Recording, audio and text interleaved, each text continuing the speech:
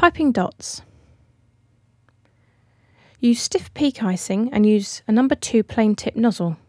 Keeping the tension on the bag with your hand and support your arm. Hover above the surface, squeeze well to create a rounded dot. Stop squeezing and pull away.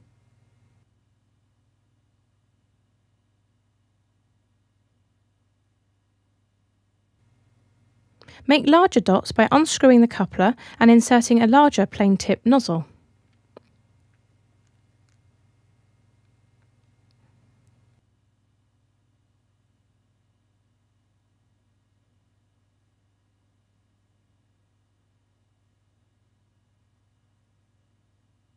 Keep the pressure up, but stop squeezing just before you take the nozzle away.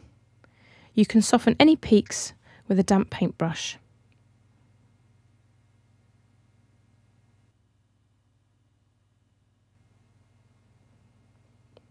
Pipe dots look great on the edges of a cupcake.